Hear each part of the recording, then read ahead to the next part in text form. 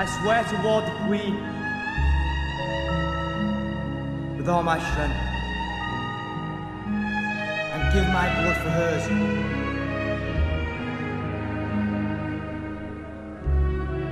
I shall take no wife,